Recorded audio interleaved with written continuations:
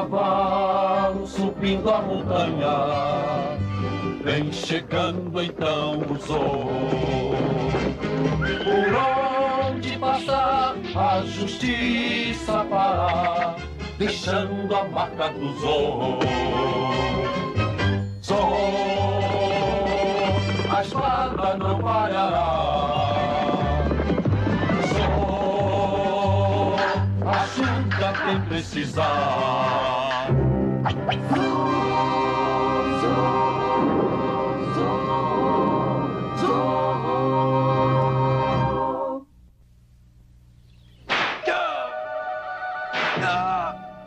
Diga, seu verme miserável, onde os outros estão? Mais dez de batada. Me perdoe, comandante, mas este índio prefere morrer a atrair o seu povo. Acha mesmo? Deixe ele sozinho comigo. Para o seu próprio bem, diga ao capitão o que ele deseja saber. O fantasma da missão. O idiota do sargento tem razão. Você morrerá em vez de me dar qualquer informação. Mas eu não quero informações de você. Só o seu silêncio. Tem uma família. Quer vê-la de novo? Eu vou levá-lo de volta à missão. Eu vou contar àquele padre algumas histórias inofensivas. Se você negar, ou se você abrir a sua boca para dizer qualquer coisa, nunca mais verá a sua família, entendeu? Entendeu? Sargento Garcia, o prisioneiro acaba de fazer uma confissão. Ele fez? Prepare a cavalaria. Iremos até a missão imediatamente. E prepare para o combate. Um combate? Com todas as melhores armas, idiota. Vamos lutar pelo rei e pelo país. Sim, capitão. Cavalaria, preparar para combate! Não, Bernardo, não é assim. Eu nunca conheci um espanhol que não tocasse violão. Veja, aqui, assim, isso. Agora, tenta você. Vai, senta ali, vai ser mais fácil. Distribuição Mega Filmes. Versão brasileira. Herbert Richards.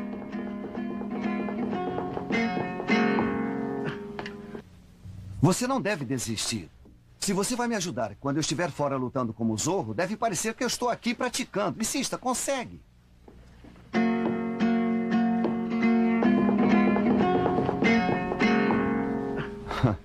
Ah, deixa pra lá. Eu tenho que ir até a missão para ver se Dom Inácio está a salvo. E você continue tentando.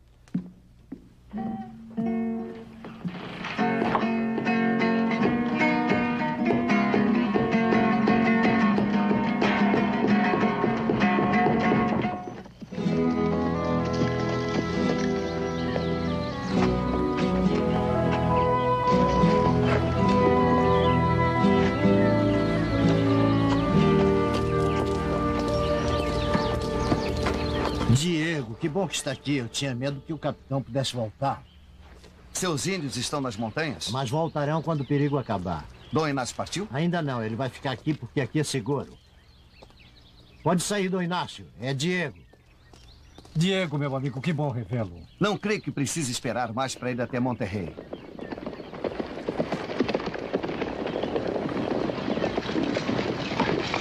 Rápido, volte para a igreja.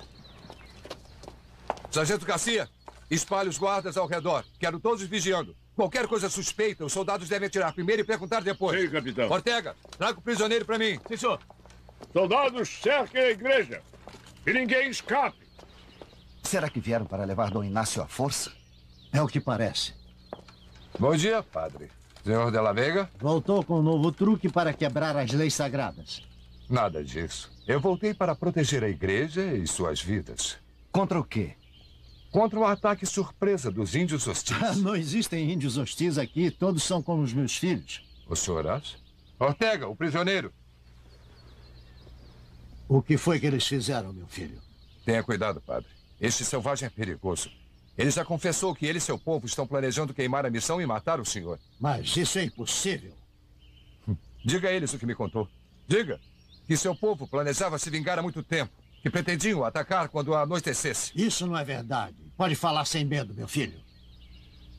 Os seus líderes não estão planejando exterminar os brancos de todas as missões? Está vendo? Ele não ousa negar.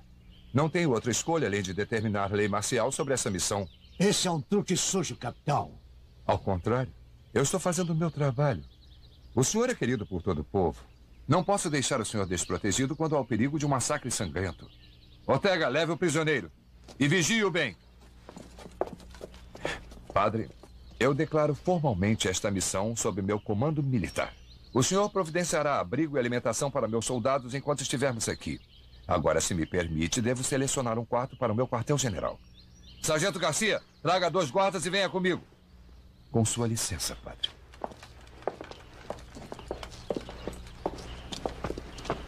Padre, devemos obedecer ordens. Perdoe-me.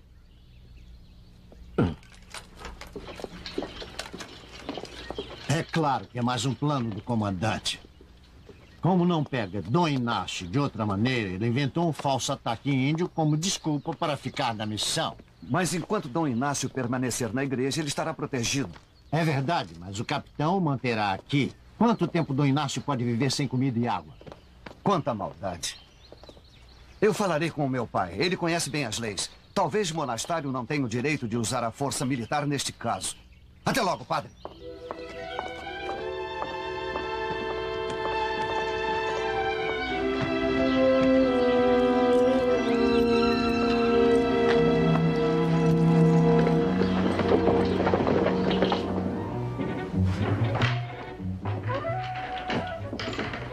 Meu pai está em casa?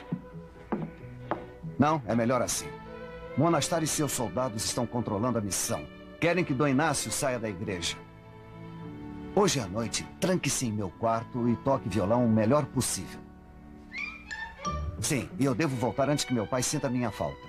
Vá até a cozinha e mande o cozinheiro preparar comida para eu levar. Está tudo calmo, sargento. Muito bem. Vou render você enquanto vai comer.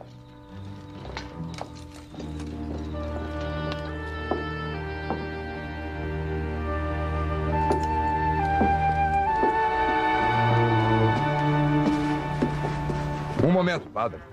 Não pode me impedir de andar em minha igreja. Eu não quero impedir. Entretanto, padre, não posso permitir que leve comida ou água para o traidor. Hum, deve estar uma delícia. Eu vou gostar muito disto. Pelo menos, deixe eu levar água para matar a sede de Dom Inácio. Pode levar água benta? Haverá um lugar bem quente reservado para o senhor quando morrer.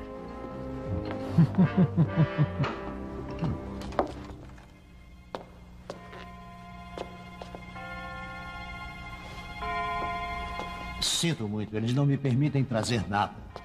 Eu não tenho fome, padre. Deve estar com sede, não bebeu nada desde hoje cedo. Isso não importa. Vou ver se consigo trazer pelo menos água para o senhor. Por favor, padre, não se arrisque por mim. Eu já causei muitos problemas e não desejo causar mais nenhum.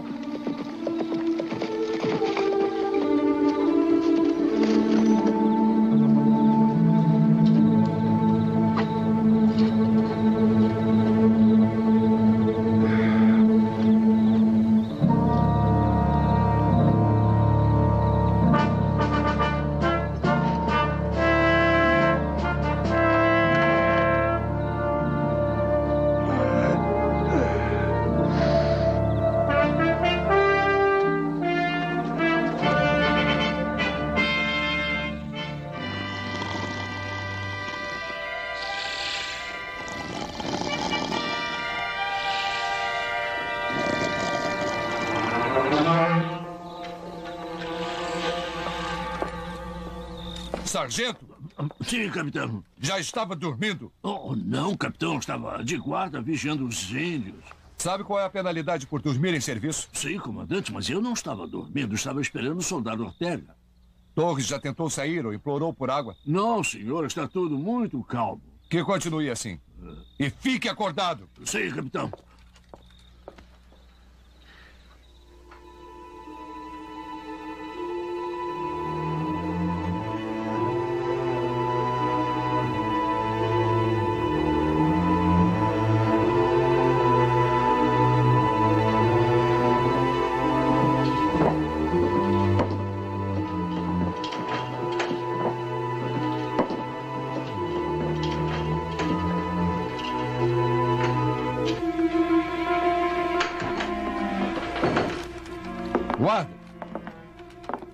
Eu quero que vigie a porta da igreja atentamente. Torres pode tentar fugir hoje à noite. E se ele tentar, não tenha clemência.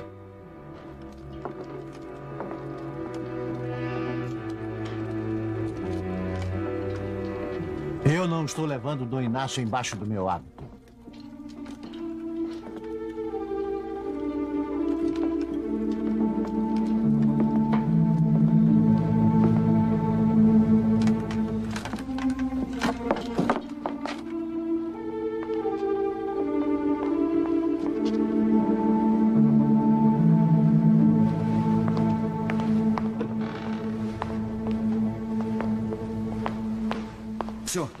Trouxe comida e água. Seja quem for, Sr. Zorro, eu agradeço, mas não devia arriscar sua vida para me salvar. Zorro! Fuja enquanto pode. Eu cuido disso. Tome. Vigie.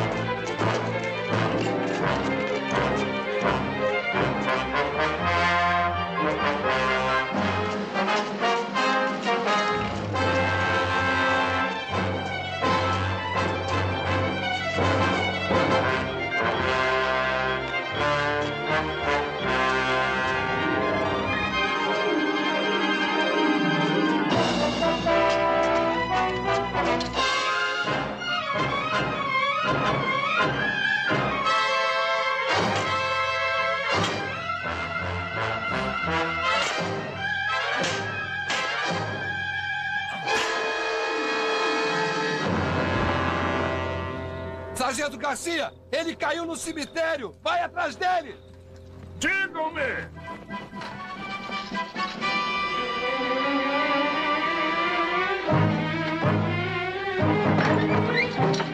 Por aqui.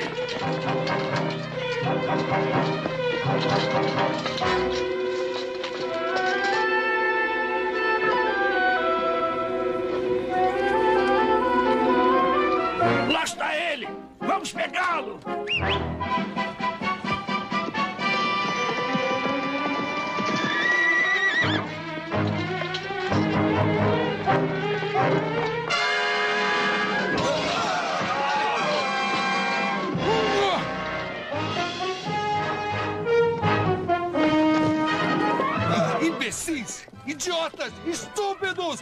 Zorro conseguiu fugir de novo!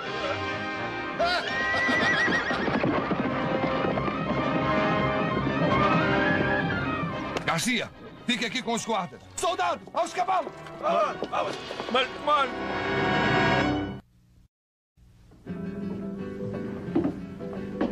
Diego!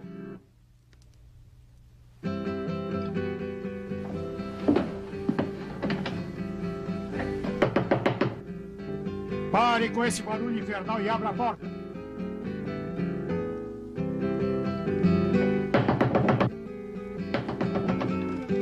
Diego! Diego, o que está vendo com você? Destranque a porta. Sim, papai.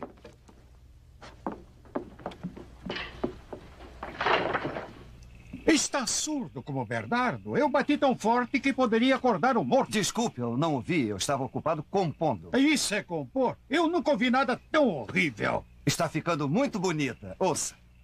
Quando anoitece, o meu amor não vem. Por favor, agora chega, Bernardo. Eu não quero ficar com insônia e gostaria de dormir um pouco. Perdoe, papai. Não sabia que o senhor estava na cama. Se você acordasse tão cedo como eu, talvez você se deitasse numa hora decente. Tem razão. Talvez seja melhor eu ler. Creio que nunca compreenderei você, meu filho. Desde que voltou da Espanha, parece que só pensa em literatura, música e pintura. Papai, essa é minha vida. Assim como a sua é criar cavalos e bois. É, tem razão. Todo mundo tem seu gosto. Boa noite, filho. Boa noite, pai.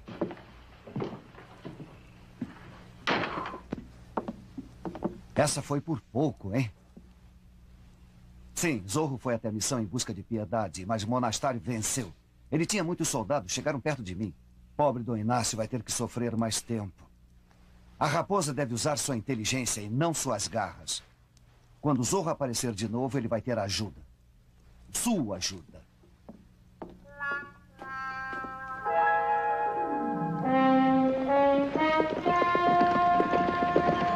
Cavaleiros se aproximando a oeste!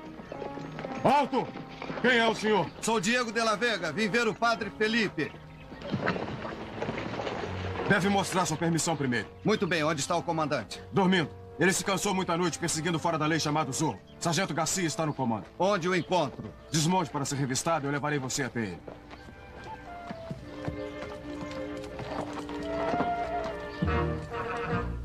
Dom Diego de la Vega pede permissão para ver o padre, senhor. Por que a visita? Tem um velho manuscrito que o padre Felipe deseja muito ver. Volte ao seu posto.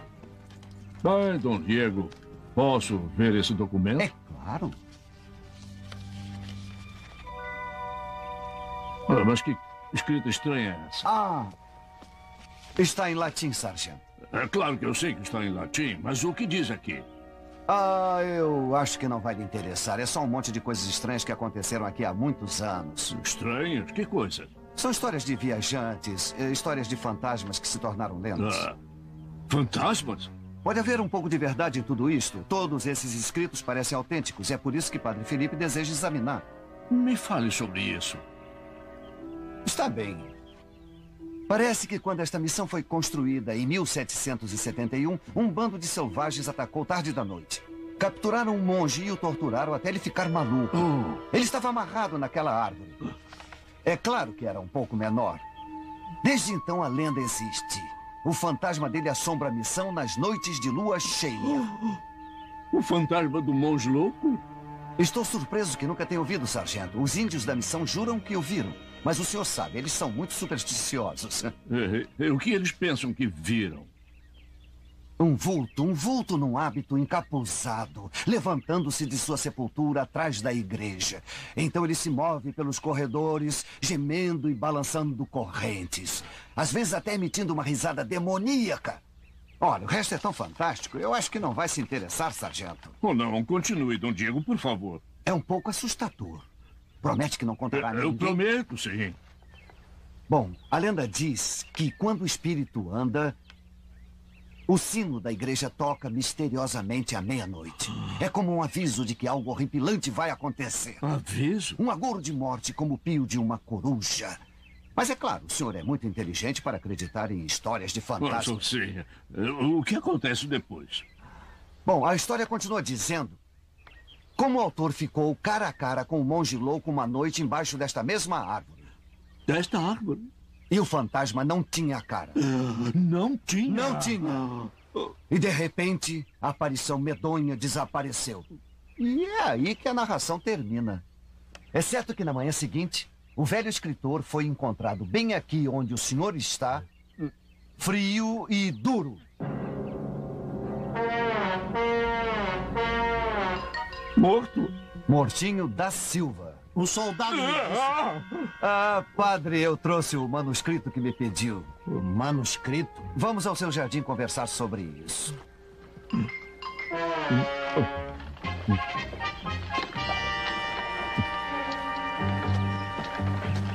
De que trata o manuscrito? Foi só um pretexto para ficarmos a sós. Como está Dom Inácio? Como Elias no deserto. Não consigo alimentá-lo.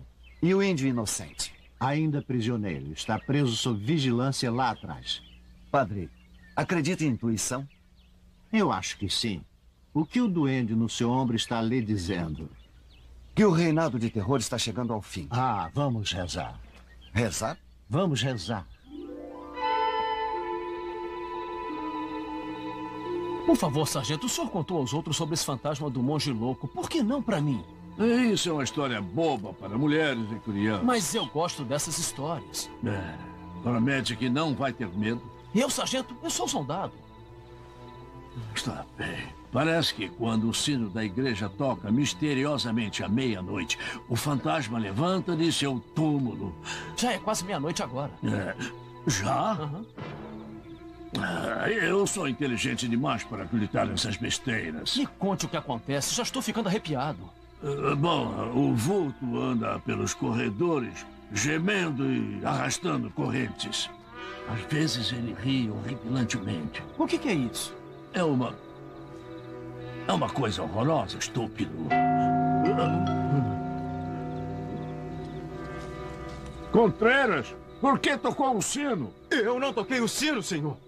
Ah, alguém tocou? Quem está aí com você? Ninguém, sargento. Ele tocou sozinho.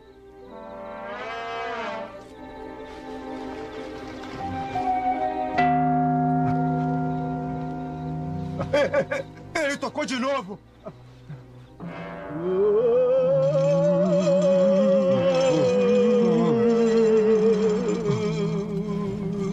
Tem alguma coisa se movendo no cemitério.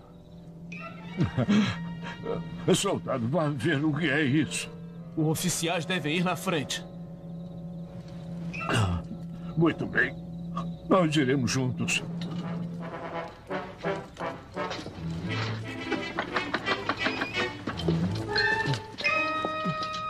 Não vejo nada. Olha!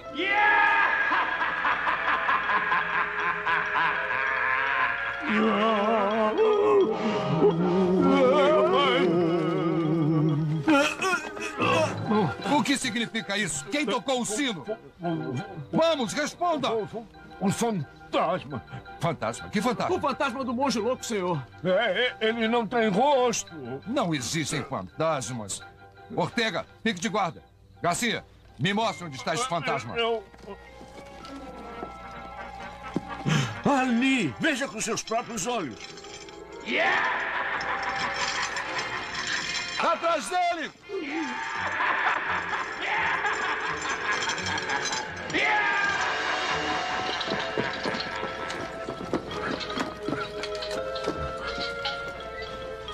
Estão procurando alguém?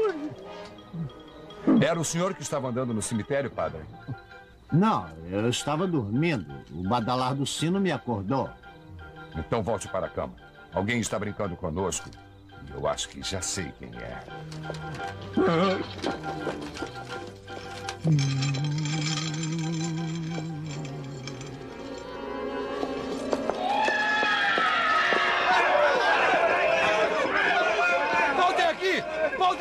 Seus desertores! Voltem aqui!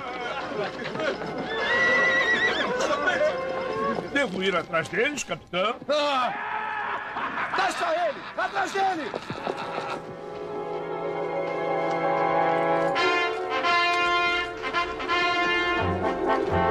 Sargento, onde ele está? Eu não sei, comandante. Ele não pode ter desaparecido no ar. A lenda diz que pode.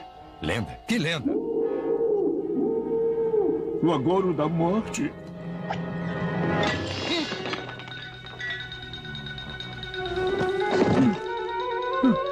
A história é verdadeira. Ele está morto.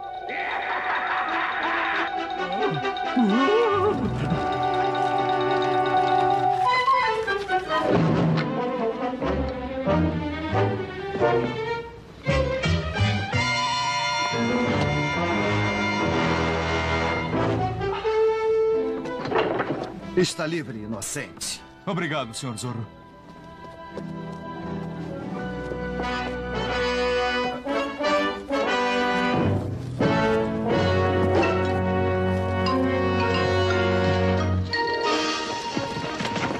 Esperem, soldados! Não me abandonem! Ah, Eu fui ferido! Ah, Índios! Ah!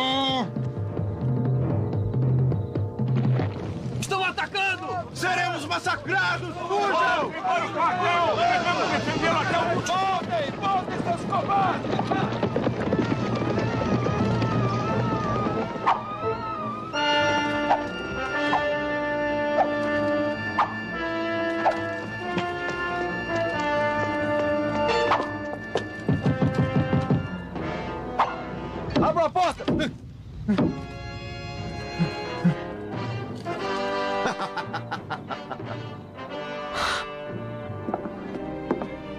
Tem certeza que é seguro, padre? É assim, os soldados despertaram e eu deixei o comandante lá fora à noite. Pode vir comer em paz antes de partir para Monterrey. Diga, padre, o que foi que os assustou? Um pequeno milagre que eu atribuo a alguém chamado de Zorro.